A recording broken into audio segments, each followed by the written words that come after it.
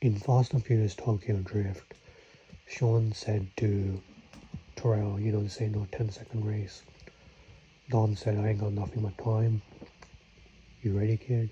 So, you know, he's a new Drift King.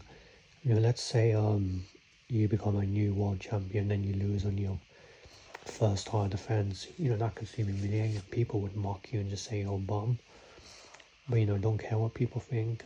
It is possible you can lose the very first time after you won something and never defended it, but you can't care what people think. And, you know, when you go up against someone as reputational as Dom, you know, has won races all over Asia, as I said, you know, you can't be afraid of that, even if it is your first, you know, title defense. Can you imagine being a UFC fan and having to defend against someone that's a veteran, you know, way more experienced than you with, you know, so many title defenses, undefeated, maybe comes back out of retirement, and you got to go against that. Mean, that's the mindset you should have. You should have the mindset of bring it, I am ready.